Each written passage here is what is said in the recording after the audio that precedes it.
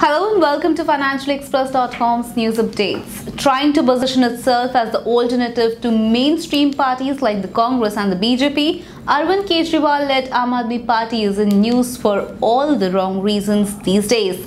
Earlier, Prime Minister Modi and now it is facing a crisis from within for the wrong reasons. While Aam Aadmi Party was already rocked by a sex scandal involving its MLA Sandeep Kumar, another sex bomb hit it when one of its own MLA alleged that some senior party leaders are seeking sex from women in return for tickets for Punjab election.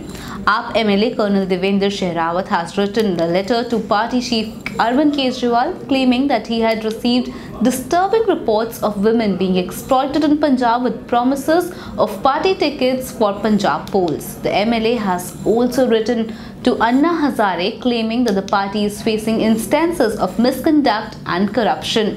Meanwhile, in response, uh, Aam Aadmi Party leader Sanjay Singh has decided to file a defamation suit against Sehrawat. For more updates, subscribe to financialexpress.com.